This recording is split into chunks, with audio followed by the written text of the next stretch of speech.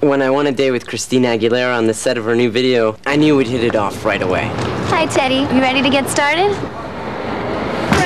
Right, and up, both arms, jump it out. I, I really impressed her. Hey, you having a good time?